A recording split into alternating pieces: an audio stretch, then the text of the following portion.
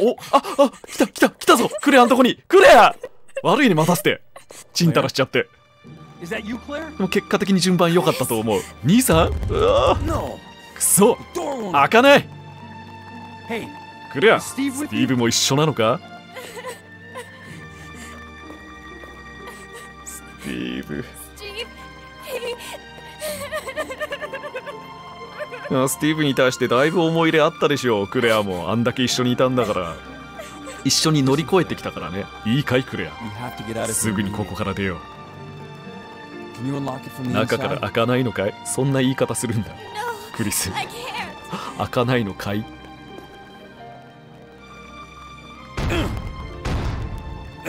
あークリスのパワーで無理か。どこかに自爆装置があるはずなの。あそうだなんかそれ作動したら全てのロックが解除されるみたいな。そういう話あったね。それで解除されるかもしれない。あそのくらいの隙間はあるんだ。セキュリティファイルを取りました。ここになんか書いてあったんだっけ？あの自爆装置を起動したら全ての場所のロックが解除されますみたいな。あ中に何か挟まれてるよあそれを渡してくれたのか。あーカードキーも一緒。なるほどね。セキュリティカードが入っていた。これの時アイテムいっぱいだったらどうなってたんだろう。な せっかくクレアが渡してくれたのにクレアを助けなければ。あそうだな。でも読めたな。そっかそっか。それ自爆装置作動して帰り道の時にここのロックも解除されてちょっとゾンビが飛び出してきたりするんでしょこいつら。このくらいの鉄格子の隙間あったら倒せそうな気するけどな。無理。一発くらいいいか使って。効かねえ。予想通りの無駄打ちしたわ。いやーでもこんなにありますからねショットガンは。ていうかなんか曲すげえかっこよくなってる。バイオハザードっぽくない。ファイナルファンタジーのラストダンジョンみたいな BGM 流れてる。ここじゃあ登りますよ。ここでトンボ使ったらイベントだろでランチャーとやらがあったのはここだったかな。そう対 BOW だ。リニアランチャーのセキュリティ解除装置だ。リニアランチャーって言葉なんか他のシリーズで聞き覚えあるもん。イベント戦闘の時だけ出てくるアイテムって感じで。でセキュリティ解除方法。これ何だったっけ？緊急時に左右の解除装置を同時に右回しておく。まあこれよく分かってねえわもう。ぶっつけである程度行くしかないよな。あこれがリニアランチャーのセキュリティ解除装置緊急時のみロックが解除される。まずはこれはめるしかないか。プレートにトンボのくぼみがある。行くかはめろーい！マグナムも持ってるからな今は。じゃあこの先ね。さあどうなる？えい。でどういう部屋だ？あー感染者の声はする。しっかり制御室だってよ。あでも別にこの先もう扉とかないじゃん。え？いるねいるね。ああ思ったより近いじゃない？ぶっ飛ばしてやるよ。いやこれ気持ちいいな頭に一発。よしおいでおいでおいで。あすごい突っかかってんじゃん。すごい引っかかってんじゃん。頑張れ。ほらほら頑張れ頑張れ頑張れ。頑張れ頑張れ一生懸命頑張れ。やれるやれるお前ならやれる。もうちょっと前行ってあげないとダメか。チキああふざけんなこいつ。詰まってただろうが今びっくりした。よく今頭正確に打ったわ。あハーブあんじゃん。ありがたいね。これもまあ2つ調合しといても。あれ？あ1つか。ああなんだまた2つ並べて置いてあるように見えたけど一瞬。1つでした。さていやもうこんなとこでチンタラしてる場合じゃないのよ。これ何？この装置はあでもハーブそこにもある。一応これはいただいといてまた調合ハーブだね。めちゃくちゃあるなハーブ。負ける気がしねえぜ。いやでもなんか本当にちょっと次のボス戦マジでラストバトルの可能性あるな。えっとここから自爆装置の安全ロックを解除できる。こんな BGM 流れちゃったらねセキュリティカード。あここで使うのかセキュリティカード。でもこれ使ったら自爆装置作動。え？そういうことだよね。じゃもう一回もう一回読ませてごめんね。ここから自爆装置の安全ロックを解除できる。あ自爆装置を起動するためのロックを解除するってことなのでこの後にもう一つ何かする必要はあるのか。で自爆装置安全ロック解除システムセキュリティコードを入力して。あああはー。えー。ロにどっかで見たよなこれ。か。まあはっきりとベロニカとは言ってなかったけどね。解除するためのコードは偉大なる始祖の名前であるみたいなことを書いてあったはずなのでこれよ。セキュリティコード照合中。これ外してたらすげえかっこ悪いな。頼むぞ。ああよかったいけた。照合されました。自爆装置の安全ロックを解除します。で対あでももうこれでそうか。えー、対疲労確保のため全てのドアロックを解除しました。これでクレアも自由になるはず。爆発まああでももうこれそうか。もう昨日なんだ。じゃあ爆発。爆発まであと5分です。あと5分でこの施設脱出する目処ついてる？これ。クリス。俺はあんまり見えてないんだけど。まあでもとりあえずクレアんとこまで戻るしかないよな。これさここであと5分でボス倒すみたいなことに。あでも来た来た来た！クレア.さあ早く脱出しよう！えー、やっぱりこの触手ちょいちょい出るけどこれの本体どこにあんのか？え？それそんな感じだったの？その触手口みたいなのついてたんだ。あ？えこれ?ベロニカどうするの兄さん？そっか。あベロニカじゃなくてあらアレクシアアレクシア。おそれに目つけましたか.よしあれを使う。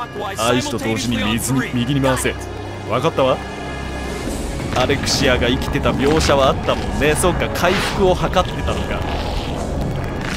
で今回復完了したのか1 2 3でアホになってほしかった。なエネルギー注入を開始します。注入終了後自動的にセーフティーロックは解除されます。いやでもこれどういえちょっと待って戦いになるんだろうけどどういう戦い方していいのか見当つかんぞ。でも何も考えずに撃っていいの？2人いるけど操作するのはクリスなのか？そもそも.奴は俺が始末する.クリスがやるらしいお前先に行け.ここは俺に任せろ行け.必ずケネ兄さん.絶対に死なないでやるしかねえぜおああんな技使ってたなええー、クレア？あれどっち？どっち操作する？クレアびっくり今クレア操作するみたいな感じかと思ってえちょっと待ってえおおええええどえええ何俺今何かできた？俺俺今何かできたの？俺 で、今、何どっちの操作だった？え操作すんのはクリスだったの？うん、ちょっとこっからかい。ベロニカって入力するとこから。今の結構初見殺しだと、私は思うんだけど、クリスの操作でよかったのかな？狙撃すればよかったのか？マグナムぶち込んだら倒せたかな？で操作が切り替わったらまずぶち込む。でこれえどうなんだ？どうなんだ？どっちなんだ？ああクリスだ！クリス！あやばいクリス今動かした撃ったぞ！マグナムどうだ？えマグナム一発で終わり？いやでもまだあるなこれ。第二形態的な。まあこの手のもおなじみよ。何作もやってますから。いやでもこれどこを撃てばいいのか。あの光ってるところを狙えばいいのか。あの光ってんの露骨に弱点くせえけどあそこで合ってる？でもこれマグナムぶち込むぜ俺なんか来れでも構わなくていいか。いけああ触手もいる。少し下がった方がいいか。当たらない位置。えー、やばいやばい。うーマグナム装填もある。やめてよ。ちょっと待ちょっと待て。あーなんかグレネードランチャーみたいなの持っときゃよかったかな。グレネードランチャー持ってたらもしかしたらあの足元の鬱陶しいの。なんかお掃除できたかもしんない。ちょっと待ってああなんか錯乱してたわ。弾だけでは使いようがないちょっとショットガンに一旦切り替えて足元よし綺麗に片付いた。でまたマグナムに持ち替えて本体を。これ当たってるよな当たってんだよね多分。また来たまた来た。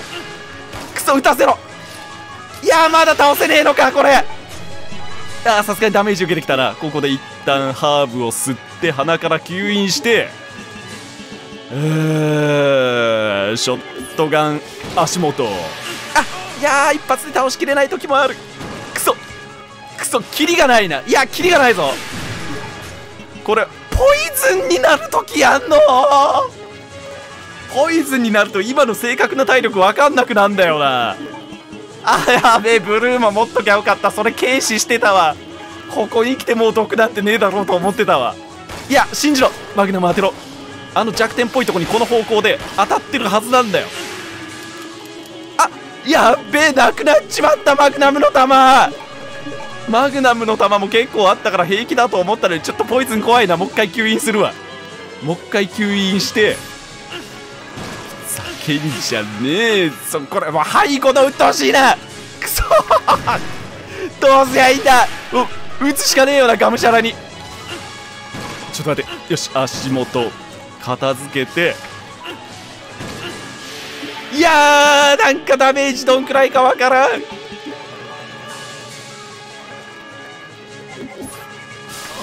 わえうわー解除した瞬間に終わったぜ今メニュー。これいけるか？ああ今ので行きたかった。今ので行きたかった。ですぐ打つ。ここは OK いやまあでも1回ぐらい失敗しとくもんだな。もう。大丈夫。温存してきたマグナムを信じろ。もう無視して打ちまくりゃいいんじゃないのあそこ。でリロードしてる時間がもったいないからリロードはもう必ずこの画面でやる。メニュー画面からやって弾ゼロの状態で打とうとするとカチャカチャリロードをするんだけど。いけ。温存してきたマグナムを信じろ。たださっきそれだけでも倒しきれてなかったから。ちょっと待って。うわ出たポイズ。ンこれほんと今どのくらい体力あんのか分かんなくなるのが一番嫌だな。いやでもこれ倒しきったら終わりの可能性あるぞ。くっそ。いやでもあんだけ足元でちょろちょろされるとこいつはやりたくなっちゃう。よしちょっと潰して。あとはもう撃て。撃てクリス。えー、もう身動き取れなくなる。ふざけんなよこいつら。もうハーブ吸引して。いえくっそ。ちょっとあれもうないんじゃないの？弾ないわ。あとはもうショットガンで行くしかない。マグナム打ち切っちまった。いけるかこれ？ショットガンで。おやったやったやったぞ。やった！あーやったー！ショットガン連打したらいけた。マグナムなくなった後。これどうだ？終わりなるか？うわありこえ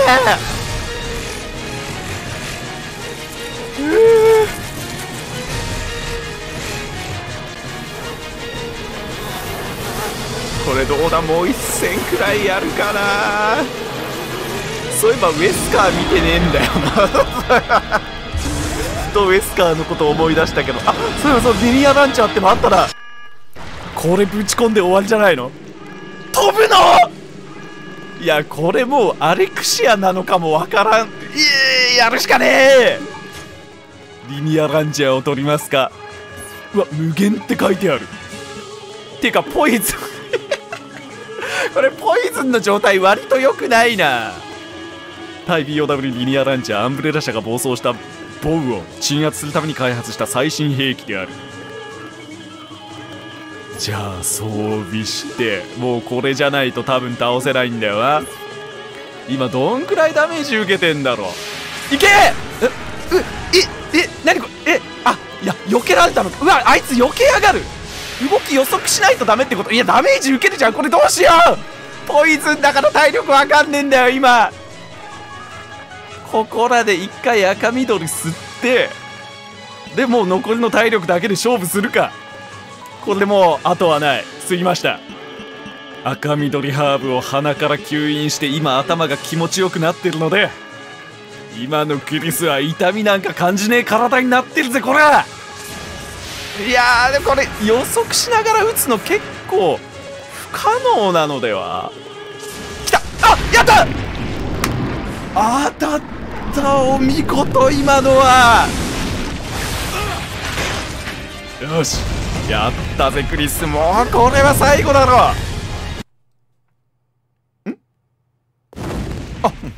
Chris, ええ突然のウエスかおめえ何してやがった？戦えアレクシアと。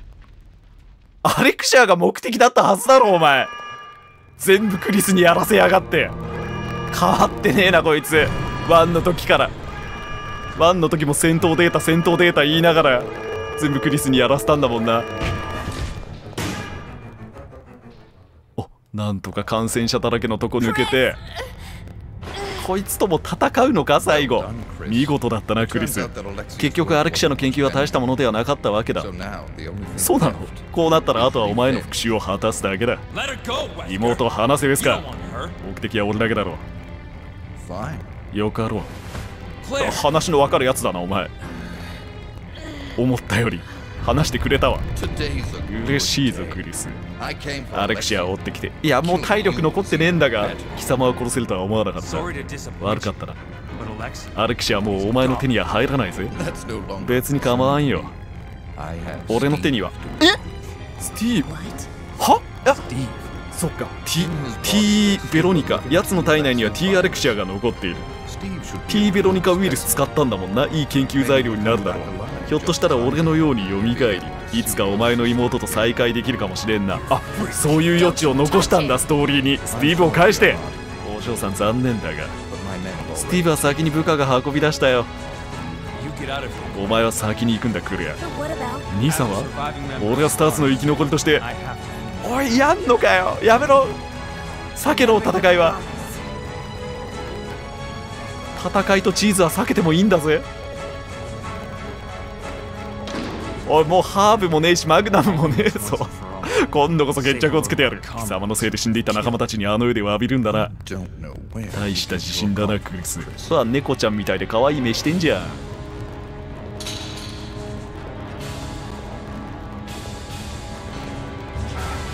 いやこれどうだ？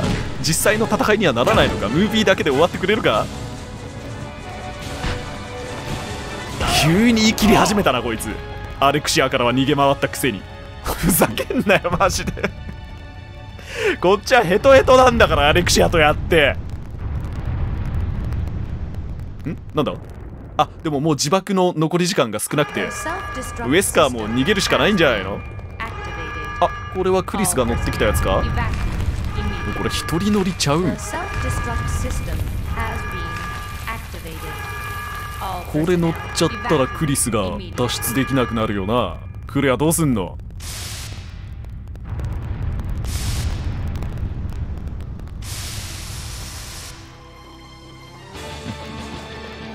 あなんだ逃げないんだ。楽しそうじゃねえかウェスカこれはさすがにムービーだけかな。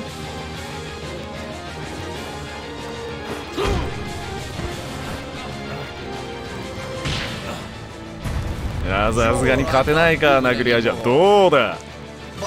人間であることと引き換えに手に入れた俺の力はアレクシアからは逃げ回ったけどな。アレクシアと戦ってヘロヘロのクリス狙いやがって。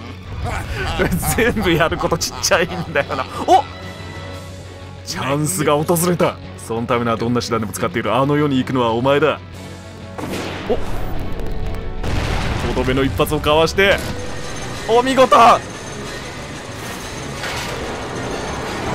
ぐ油断するエスカー君はいつもそう変わってないね本当に。でもこのぐらいじゃ死に死にもしないよね。ウエスカー。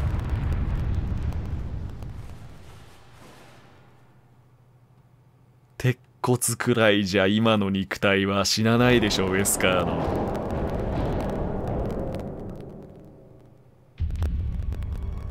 いやそれどころかまあまあ元気そう。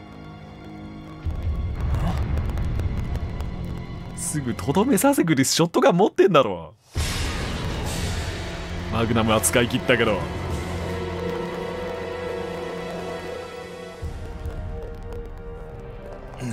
あのショットガンも置いてきたんじゃないだろうね。ファイト一発の時みたいに.惜しかったな.ウエスカーいやもう時間ないよ。時間ないよもう。二人とも。男子っていつもそうなんだから逃げなさいさっさと。おさすがにダメージ受けたね。悪運の強いやつね。覚えておけ。次に会う時が貴様の最後だ.いいだろうまたおクリスまあこうしてクリスとウエスカーの因縁は続くわけだ。なんで楽しそうなんだよお前。逃げろ逃げろ。あの潜水艦できたんじゃないの？何余裕かましてんだこいつ。ああまあでもよかった。なんとか。ああ。死なずに済むのかな？間に合うか？Chris, where are you? ギリギリまで待ってはくれてんだね。あそりゃそうだよな。あーでもこの爆発でアレクシアの研究は全て葬られることになるのか。ただまあ T ベロニカウイルスを投与したサンプルとしてスティーブをウエスカーが回収したから。それが後の展開に生きたり Hey, なんて顔してる約束は必ず守るさすがだぜお兄ちゃんギリギリすぎるだろ今のあーどうにか脱出できたな兄さん約束してもうどこにも行かないってすまないクレアそれはできないまだ俺にはやり残したことがある兄さんまさかそうだ彼は返してやるアンブレラを壊滅させてな、yeah. 壊滅してないのかねアンブレラは。まあでもウエスカーとの決着爆発落ち。あ終わった。バイオハザードといえば爆発落ちよ。 one でもそうだったし。えこれエンドロールこんなレトロな感じなの？まあでも元がドリームキャストだもんな。まあドリームキャストここまでレトロじゃなかったかもしんないけど。これはそういう演出なのかな？はい。じゃあバイオハザードコードベロニカやったクリアできたわーなんかもうスティーブ見ると悲しくなっちゃうな一応なんかまだ生きてる余地を示唆してたよなウエスカー。まあ生きてるって言ってもそれはもう怪物としてかもしれないけど。うわこのやけくそ乱射。うわ最初のやけくそ乱射。懐かしいぜ。いやまあクリアできましたけど。ショットガン70発くらい残してね。クリ クリアしましたけども。まあでもこれはやっぱり家族愛みたいなのがテーマの一つとしてあったりしたのかな。まあクリスとクレアが主人公であることはまあもちろんだしスティーブもね最初は家族の問題を抱えててでも結局あんな親父に対しても愛はあったっていう感じになったしね。親父のせいで捕まってたんだもんな。アンブレラに。あとまあドントムーブおじさんことロドリゴも死に際に家族のことを口にしてたりしたし。まあそういういろんな家族の形を見ていくから余計にアシュフォード家のいびつさを感じるというか。なんかそういう作りにしてたのかな、ね、父親のアレクサンダーにウイルスを投与したり、まあ、アレクサンダーの方もそもそも子供を実験に使ってたり。アレクシアだってねお兄様のことを駒としてしかうん思ってなかっただろうし。まあアルフレッドはそれを良しとしてたけど。なんなんかでもなんかすごかったな。まあ家族愛がテーマなんじゃないかっていうのも俺の想像だけど。でもなんかバイオのストーリーでなんかそういうテーマ性を感じたのって。初めてかもしれないな。やってきた中では。いやなんか本当リメイクされていないにもかかわらず愛されてる作品だっていうことがよく理解できましたね。なんかそう確か開発した会社がもう存在しないとかこのゲーム。まあ他にもなんか理由はあるのかもしんないけどそういうのがあってちょっとリメイクは難しいんじゃないかと言われてる作品なので。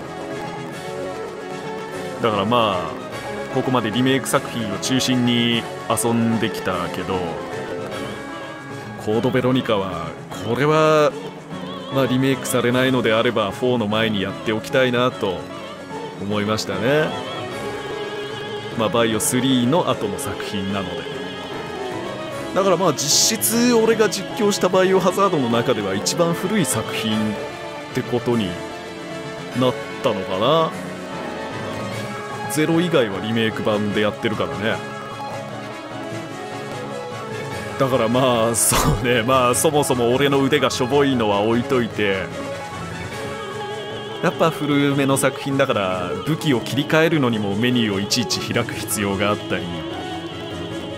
マップ間の移動の際の扉開けるあのロード時間も結構長かったり。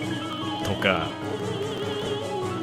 まあ最近のゲームの快適さに慣れた後だとやっぱりちょっと見づらい部分もあったかもしれないけどグラフィック的にもね。ちょっと古めではあるし。でもまあにもかかわらず最後まで付き合ってくれてありがとうございます。いやまあでもやっぱり素晴らしい作品だったけどリメイク作品先にやってるからやっぱなんだろう進化してきたんだなっていうところもすごく感じるよね。だから今回難しいところの一つで言うとキャラクターの操作がラジコン操作であるってことだけど。まあほんとリメイク版から先にやってきたから123とかはラジコン操作のバイオを俺がやるのはこれが最初で最後になるんじゃないの？もしかしたら。あもう終わりかなエンドロール。ちょっとねいろいろ話したいことあった気がしたけど。ほんとこの最後まとめるのはいつも難しいな。あのなあスティーブの最後とかも割と衝撃だったしな。あんな相棒みたいなキャラクターをさ いやでもこんな平和は訪れてないよね多分。あの後の2人。いやこれはあれかな？バイオハザード前なのかな？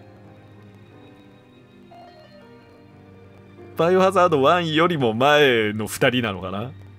だってあの後またウエスカーを追いかけに行ったわけでしょ？クリスは。ウエスカーというかアンブレラというか。こんな平和な時期もあったんだね。ランキング D これ最高評価ってことだよね。ありがとうございます。最高評価の D いただきました。14時間15時間近くかかったのか。あリトライ多いな。タイラントとかノスフェラトゥーで。割と死にまくったからな。いやでも結構ボス戦の難しさ感じたな今作は。やっぱリメイク作品ってちょっと簡単寄りにはできてるのかな？かつての過去の作品と比べると。これ本当に何の情報もなく初見だったら勝てんやろっていうの何人かいたもんね。あのスティーブとかさスティーブなんて倒せないしねまず。逃げなきゃいけないっていうのも。わかるかいって話だし。いやまあリトライしましたよ。これ今までのバイオで一番リトライしたわ。おめでとうございます。自己ベスト自己ベスト記録を更新しました。やった。まさか自己ベスト更新するとはな。アップロードは別にいいです。何の話してたんだっけ？あバトルゲーム追加。あ追加要素ね。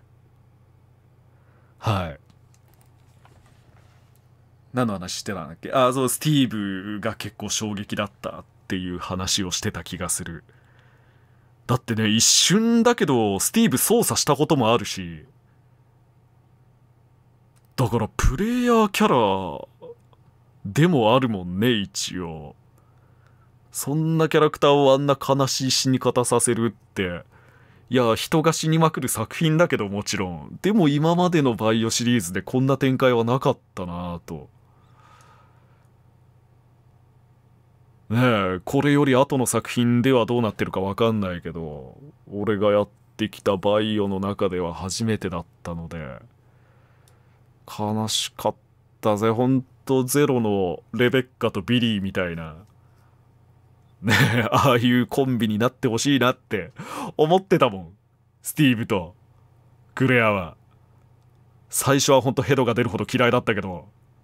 いやスティーブこれいいキャラクターだったよ。これ後のシリーズでちょっとスティーブのことを感じられるシーンとかあったりすんのかな？あんなこと言ってたし。だからまあそうね後のシリーズやるのがまた少し楽しみになりましたね。もしバイオハザードシリーズを次にやるとしたら RE4 になるのかな？リメイク版の。4が発売すでに決定してるので。まあやってきた順番的にもそうなるよね。RE23 そして3と4の間の話がコードベロニカなので。はい。やってよかったなと思います。じゃあありがとうございました。バイオハザードコードベロニカでした。